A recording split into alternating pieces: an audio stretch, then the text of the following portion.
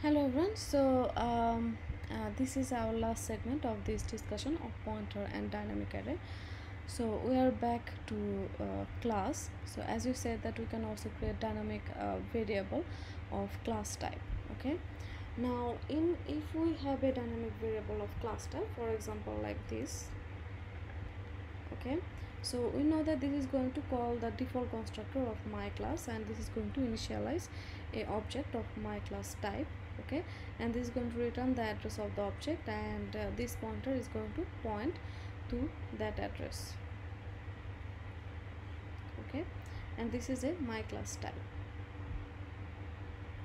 alright now pointer p is pointing to this my class object. That means actually using the pointer p we can access this variable. You can access this object okay? And how we can access the object that the pointer is pointing to using dereference operator. Now let's see the my class object has uh, actually a couple of member variable and member function all right so um, if we uh, have a regular variable of my class m okay? How we can access a uh, member function like that m dot using dot operator set get data okay now what about this one? What about using p using pointer? How we can access the member function using the pointer? Okay we know that we can access the pointer. We can access the uh, data from that address that the point pointer is pointing to using the dereference operator. Okay so we can access this uh, all the function by using the dot operator but we have to use that using the dereference operator also. So the dereference of p dot get data. Okay? All right so this means the address that p is pointing to. Okay? The address p is pointing to that is the my class object. And using the dot operator i can access all the public function. Okay? Now this combination of dereference and dot there is a shortcut. And we can use it like that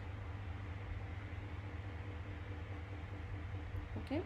So this is another operator that is actually same as the combination of dereference and dot operator. All right so when we are going to declare a pointer we are going to declare a pointer of object type sorry. When we are going to declare a pointer of class type okay? We uh, we are going to see that we are going to use this uh, operator okay for a pointer we are going to use this operator to access the public member function. All right? So uh, and this operator is nothing just a combination of dereference operator and dot operator. Now there is a for class there is a special pointer known as this pointer okay? So this pointer is a predefined pointer that will refer to the calling object all right so now for example here let's see we have this function uh, I'm sorry we have this class class definition and this class has uh, like a couple of members okay?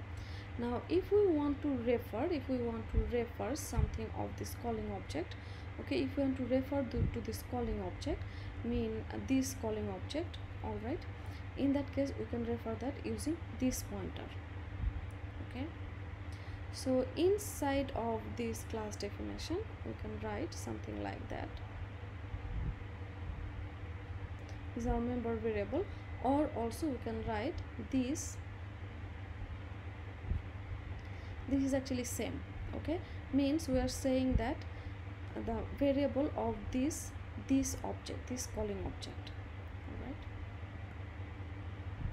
so in this chapter we uh, actually learned about pointer. Pointer is a memory address that provides indirect reference to a variable okay?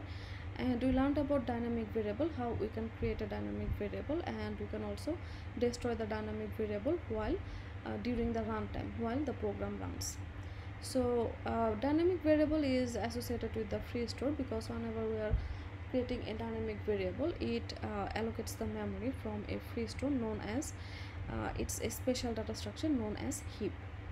Okay?